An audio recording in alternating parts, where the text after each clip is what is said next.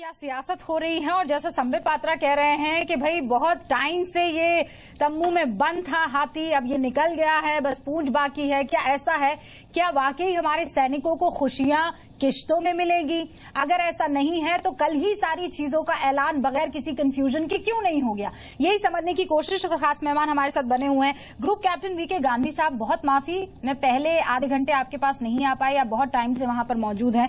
लेकिन ये बताइए, अब आगे का क्या प्लान रहने वाला है? आज आमरण अनशन आप लोगों ने खत्म कर दिया और वो इसलिए क्योंकि प्रधानमंत्री नरेंद्र मोदी ने फरीदाबाद से जो बात कही कि भाई वीआरएस अब कोई आ, वो क्राइटेरिया नहीं है। अगर वीआरएस लेते हैं तब भी जैसे प्री मेच्योर आप कह रहे हैं रिटायरमेंट और नहीं लेते हैं तब भी आपको वन रैंक वन पेंशन मिलेगा। इसकी वजह से ये अनशन खत्म हुआ सर?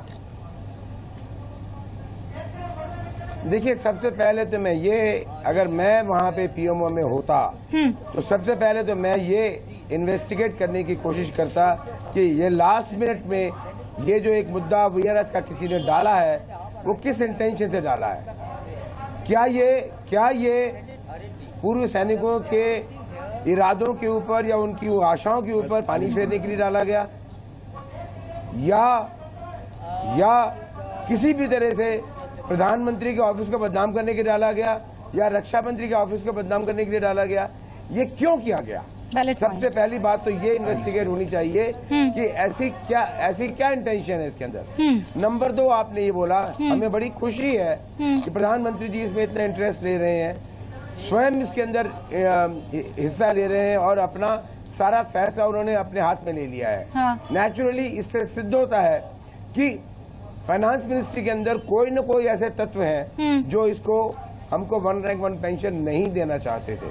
मतलब एसपी सिन्हा साहब ने तो बहुत क्लियरली बोल दिया है कि ब्यूरोक्रेसी जो है कहीं ना कहीं गड़बड़ी कर रही है। वीआरएस जो है नहीं वो लाने की कोशिश उन्हीं की तरफ़ से हुई। आप भी वही इशारा कर रहे हैं?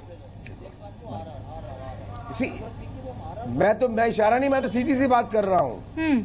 मैं इशारा नहीं मैं तो कह रहा हूँ इसका इन्वेस्टिगेशन होना चाहिए। ओके ओके इंक्वायरी होनी चाहिए कि ऐसा कौन तत्व है? ठीक है। बख्शी साहब आप जल्दी से अपनी बात रखिए फिर मैं आती हूँ एसपी सिन्हा साहब। और मैं हम्म। गांधी साहब आती हूँ। हाँ बख्शी साहब आप बिल्कुल कहना चाहता हूँ कि तिरालीस साल के बाद जो हमको ये हमारा न्याय मिला है हाँ। मैं कहता हूँ हमारा मज़ा हमारी जो आज खुशी है आसमान पे होती। अगर ये ब्यूरोक्रेटिक इनफाइटिंग ना की की इसमें गई होती हम्म। ये ब्यूरोक्रेसी ने तो इसमें इस तरह last man last round last rupee last पैसा तक फाइट किया है कि तकरीबन मज़ा किरकिरा करने से ये लोग तकरीबन सक्सीड हो गए थे। और इसीलिए मैं कहता हूँ कि मैं अपनी लीडरशिप से अपील करना चाहता हूँ कि अब वो जहाँ तक सैनिकों का मामला है उसमें नौकरशाहों को इस तरह दखल अंदाजी नहीं देने दे। ये हमारे बेचारे जो जवान है जो कोर्ट जिनको जाना पड़ता है हम्म। घायल जवान उनको लड़ाती है हम्म। आखिरी पैसे तक। और यही हमने देखा और ये इसने मज़ा किरकिरा किया है। मज़ा कहना कर दिया है ज़रूर बताना चाहता हूँ सरकार को कि वो थोड़ा इन लोगों से इन लोगों से बिल्कुल दामन संभाल के रखें क्योंकि हम्म। ये खासतौर फौज का एंटी फौज एटीट्यूड बहुत देखा है हमने हम्म, ठीक है। बख्शी साहब जवाब ले लेते हैं क्योंकि एसपी सिन्हा साहब को भी यहाँ पर कुछ बात रखनी है। संबित पात्रा ये कहना उनका कि कोई है जो भ्रमित कर रहा है। कौन है जो भ्रमित कर रहा है? ऐलान तो कल पर्रिकर साहब ने किया था। क्या वो भ्रमित कर रहे हैं? या ब्यूरोक्रेसी की तरफ़ उनका इशारा था भ्रमित कर रहे? कौन भ्रमित कर रहा है? क्या क्या इशारा था पीएम मोदी का? और फिर बख्शी साहब ने जो कहा है, उसकी, उस बात पर भी जवाब दीजिए। देखिए ये जो एक कॉमन ओपिनियन अभी बन के आया कि कुछ लोगों ने सरकार को भ्रमित करने की कोशिश की। मैं प्रधानमंत्री की बात नहीं कर रहा हूँ। प्रधानमंत्री जो फरीदाबाद में कहा उस बारे में नहीं कह रहा हूँ। जो अभी हमारे बड़ों ने कहा कि कुछ लोगों ने हम्म। सिस्टम को भ्रमित करने की कोशिश की। मगर अच्छी बात तो यह है देखिए प्रधानमंत्री भ्रमित नहीं हुए। One rank one pension accept हुआ। और जैसे मैंने कहा मेजर विषय सॉल्व हो चुका है छोटी छोटी चीज़ें अब अपने एंड की तरफ़ जा रही हैं। मैं जी न्यूज़ के माध्यम से हमारे चार बड़े लोग यहाँ बैठे हैं। एक सर्विसमैन बैठे हैं, मैं छोटा सा एक रिक्वेस्ट करना चाहूँगा। देखिए, इतनी बड़ी विक्ट्री 42 इयर्स के बाद हुई है। मैं चाहूँगा एक ही फ्रेम में चारों वेटरन्स को दिखाया जाए, गांधी जी को, बख्शी साहब को, कौल साहब को और सिन्हा साहब को। एक बार आप लोग मुस्कुरा दीजिए, इसका बहुत बड़ा री मैसेज पूरे नेशन को जाता है। यू आर नॉट जस्ट एक serviceman you are the backbone of this country नहीं, लेकिन आप इस देश के तो रीढ़ यही की। हड्डी हैं नहीं, आप अगर। मुस्कुराएँगे नहीं तो हज़ारों लोगों पर अरे वो मुस्कान तो आपने रुबिका, ला दी है वो मुस्कान आपने ला दी नहीं। प्लीज़ इसको आप नहीं ये पूरा का। पूरा मुद्दा फिर वॉश आउट हो जाएगा सिंपल सी बात ये है कि आपके पास है कि एक बार मुस्कुरा नहीं नहीं देखिए पूरी वो दो इंच मुस्कान आप हर क्यों चीज़ नहीं का दे जवाब रहे? दूँगा हाँ सम्मित जी। मैं हर चीज़ का जवाब देने को तैयार हूँ यहाँ पे मगर देखिए ये बिना पॉलिटिक्स किए हमारे जो एक्स सर्विसमैन है वो बीजेपी और कांग्रेस से परे बहुत बड़ी शक्ति है देश के। अगर वो एक दिन भी नहीं मुस्कुराते हैं हम लोग का आधा लीटर खून सूख जाता है देश। अच्छा, बात सही है तो इसलिए ये मुस्कुराएँगे पूरा देश। अब देखिए कितना इफ़ेक्ट होता है इससे। मैं कह रही हूँ इसमें तो राजीव त्यागी भी मुस्कुरा देंगे। मैं मैं मैं सबसे कह देती हूँ आप सभी फ्रेम में कटे हुए हैं। एक मुस्कुराता हुआ डिबेट में ऐसा बहुत कम होता है बाय द वे लेकिन मैं आप सबसे कह देती हूँ वो दो इंच मुस्कान आप बता दीजिए। देखिए मैं आपको a देखिए मैं आपको एक बात हाँ आती हूँ, गांधी जी आती हूँ। हाँ जल्दी से कॉल साहब। रूबिका जो संवित ने बोला है, मुस्कुराने का तब समय आएगा संवित, जब अभी जो बख्शी साहब ने और सिन्हा साहब ने और गांधी साहब ने तीन इशारे किए हैं। और वो सीधे इशारे हैं, आज की तारीख में ये मौका मत छोड़ना। और वो मौका है for a complete renovation the complete rehash of the higher direction of command of this arm forces ये ब्यूरोक्रेसी को इसको हटा के और आर्म फोर्सेस को अपने आगे का सोचने दीजिए अपने आगे का काम करने दीजिए under the political patronage hmm Sambit is it तब जाके हम ये आप जो चाह रहे हैं मुस्कुराहट पूरी आएगी 24 फोर आवर्स रहेगी आप इनवाइट तंग आ जाओगे हमारी मुस्कुराहट देखते हुए। अच्छा मैं आती नहीं हूँ। है संबित मैं जवाब लेती हूँ आपसे। एसपी साहब आप कुछ कह रहे हैं। हाँ। मैं दो बातें कहना पसंद करूँगा। पहली बात यह है कि मुझे इस बात का ज्ञान है कि दो दिन पहले ब्यूरोक्रेसी लास्ट एफर्ट कर रहा था इसको यूरोप को हाईजैक करने के लिए। और माननीय प्रधानमंत्री ने कहा कि 6 सितंबर आउटर लक्ष्मण रेखा है और उसके पहले अनाउंस करो। जो भी रिजर्वेशन है, वो मुद्दा कोई प्रॉब्लम नहीं है। आप प्रेजेंट फॉर्म में अनाउंस करो जो आप रिकमेंड कर रहे हो। और जब उन्होंने इस तरह से माननीय प्रधानमंत्री ने जब cut off Lakshman rekha define किया तो किसी ब्यूरोक्रेसी को कोई चॉइस नहीं था और अनाउंसमेंट हुआ। पहली बात।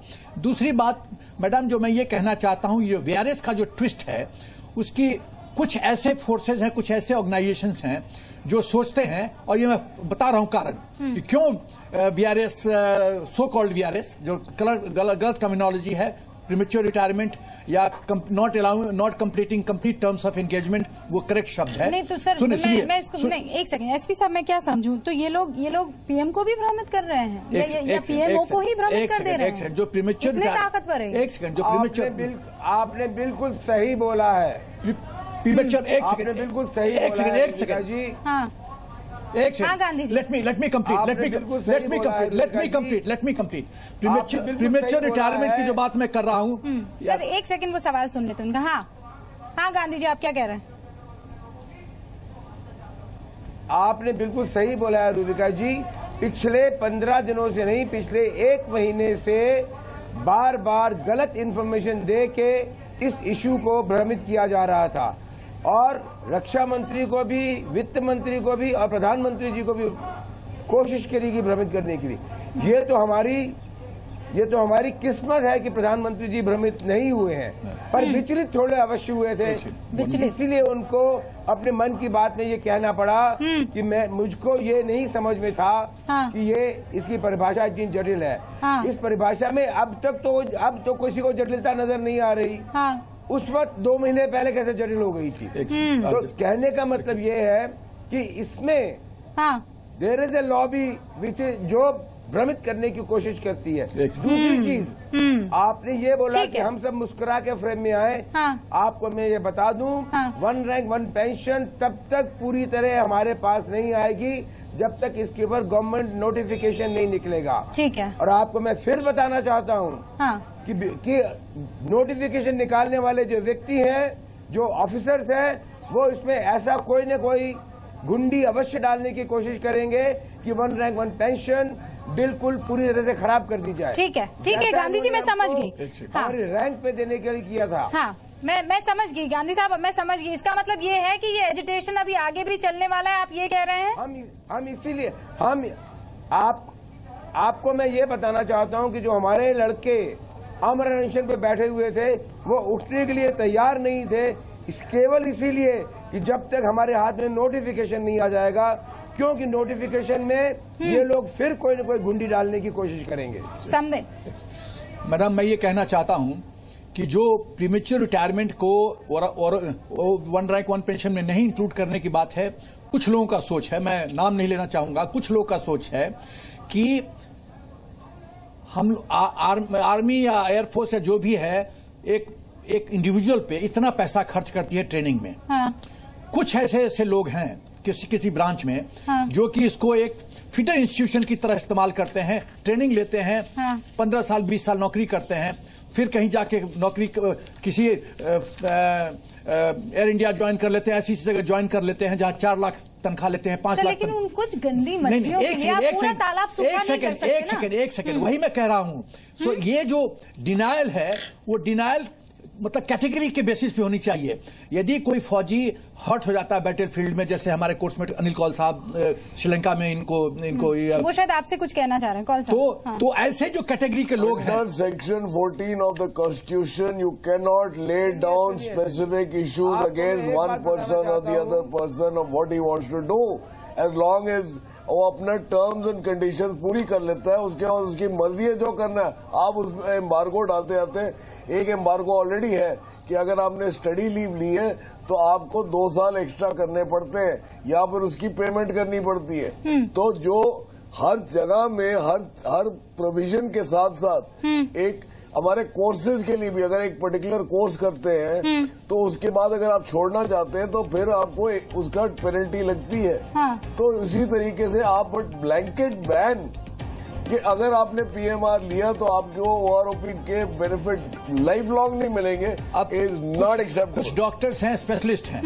वो इतने अच्छे मतलब जैसे हमारे फौज के बोन स्पेशलिस्ट बहुत सब बहुत अच्छे माने जाते हैं। तो वो वो बाहर चले जाते हैं और हम हमको सोल्यूशन सर मैं मैं एक शुरुआत बेहद ही अच्छी रही लेकिन अभी भी बहुत सारे रोड़े हैं। उनको कैसे अभी की सरकार पार कर पाती है? क्योंकि ये खुशियाँ किश्तों में पहुंचेगी तो वो प्लेटफॉर्म जो सरकार को मिला है वो मिल पाएगा या नहीं? ये ये एक बड़ा सवाल है। इसलिए राजीव त्यागी आपके पास आ रही हूँ। कम शब्दों में अपनी बात रखिएगा। क्या इन 42 सालों में आप बाकी के चलिए छोड़ दीजिए दूसरी सरकारें आई। जब जब आपकी सरकार थी क्या यही वजह है कि आप आगे नहीं बढ़ पाए कि कुछ एक ऐसे लोग हैं कुछ एक ऐसी लॉबी है जो इस मसले को आगे पहुँचने ही नहीं देने पा रही थी? त्यागी जी बहुत सच्चाई से जवाब दीजिएगा। आज मौका है आपके मैं पास। इस बात से सहमत मैं इस मैं इस बात से मैं इस बात से सहमत नहीं हूँ कि कोई भी अफसरशाही कांग्रेस पार्टी के नेतृत्व को प्रभावित कर सकती है नंबर एक। इंदिरा जी ने कभी किसी अफसरशाही की नहीं मानी राजीव जी ने कभी नहीं मानी। मैंने इन बयालीस साल का बता रहा हूँ कौन कौन प्रधानमंत्री रहे? नरसिम्हा राव ने जब आर्थिक खुलापन किया नरसिम्हा राव साहब ने उन्होंने किसी की नहीं मानी।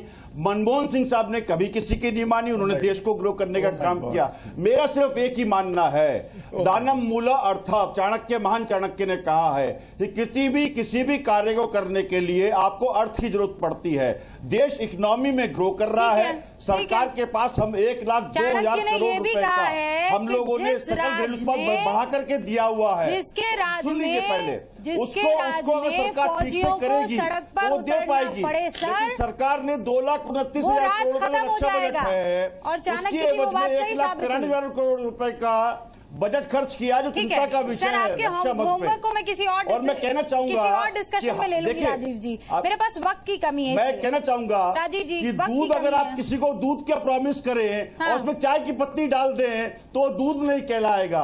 तो दूध का प्रॉमिस क्या है दूध दीजिए। प्याज खिला करके आँसू मत लाइए लोगों के आँखों में। ठीक है संबित। वो जलेबी की तरह घूम गया सर। मैं गड़बड़ा गई हाँ। देखिए देखिए मैं एक बात से सहमत हूँ राजीव जी की कहावत से कि ब्यूरोक्रेसी कभी भी प्राइम मिनिस्टर को भ्रमित नहीं कर सकता। प्राइम मिनिस्टर एक बहुत बड़ी पोस्ट होती है। एक सेकंड एक सेकंड सर एक सेकंड बहुत सीरियस डिबेट हो रहा है। प्राइम मिनिस्टर एक बहुत जिम्मेदार पोस्ट होता है उसे कोई भी भ्रमित नहीं कर सकता। बसरते कि पॉलिटिकल इंटेंशन और पॉलिटिकल विल सही डायरेक्शन में हो। कहीं ना कहीं पिछले वर्षों में जब कांग्रेस की सरकार थी ब्यूरोक्रेसी की गलती नहीं है। पॉलिटिकल विल नहीं था। इस कारण इंदिरा गांधी से लेकर मनमोहन सिंह तक इस काम को कर ठीक है संबित कांग्रेस छोड़ दीजिए। आप कांग्रेस छोड़ दीजिए। चार यहाँ पर वेटरन्स आपके सामने बैठे हुए हैं नहीं हुए। चार वेटरन्स आपके सामने। कांग्रेस को सवाल करना मैंने सवाल कर दिया। एंकर ने सवाल कर दिया। राजीव जी एक सेकंड राजीव जी एक सेकंड चार वेटरन्स आपके सामने स्क्रीन पर अभी है। संबित पात्रा वादा कीजिए कि वो सारे के सारे बिंदु जिन पर आपकी सरकार ने इनके डेलीगेशन के साथ अग्री किया है वो किश्तों में नहीं करेंगे और जल्दी कर देंगे। जो भ्रमित कर रहे हैं उनके भ्रम में नहीं आएँगे। मैं मैं मैं मैं मैं बुलेटिन ओवर कर दूँगी इसी नोट पर फिर। देखिए एक सेकंड एक सेकंड मैं देखिए मैं प्रवक्ता के नाते वादा नहीं कर सकता मैं प्रधानमंत्री के शब्दों को आप तक पहुँचा सकता हूँ मगर मैं इतना ज़रूर कह सकता हूँ कि चारों जो हमारे वेटरन्स बैठे हैं वो जानते हैं कि प्रधानमंत्री has always kept his words वो अपने शब्दों को हमेशा बर- रख के चलते हैं उनके मर्यादा को रखते हैं। और मैं भी विश्वास करता हूँ कि हमारे प्रधानमंत्री हमारे एक्स सर्विसमैन के लिए जो भी होगा वो उचित करते रहे। ठीक है। बख्शी साहब लास्ट में आप मुझे एक कमेंट कॉल को सलाम करता हूँ अगेन उन्होंने और ओपी पे ठीक है त्यागी जी बख्शी साहब जल्दी से दस सेकंड में मुझे ब्रेक लेना। है आ, मैं कांग्रेस के प्रवक्ता से पूरी तरह सहमत हूँ कि ये उनके जो पॉलिटिकल विल की एब्सेंस है जिसकी वजह से 42 साल ये चीज़ नहीं हुई।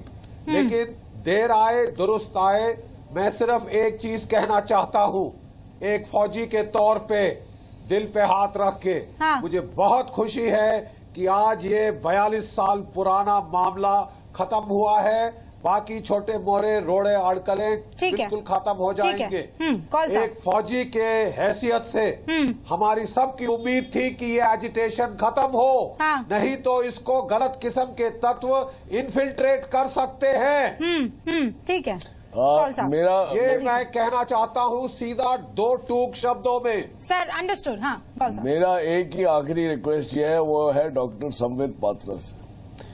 As spokesperson of the BJP हमारी रिक्वेस्ट है कि ये ओआरओपी का झगड़ा तो आपने देख लिया सड़कों पे आया पचासी दिन हुए झगड़ा हुआ अनशन हुआ वगैरह वगैरह वगैरह। ये एक ही मुद्दा था आप अगर थोड़ा सा ध्यान दें संबित जी एमओडी में जाएँ और वेटरन्स के मुद्दों के बारे में थोड़ी सी तशवीश करें तो बहुत सारे मुद्दे हैं। जो निकल कर आए।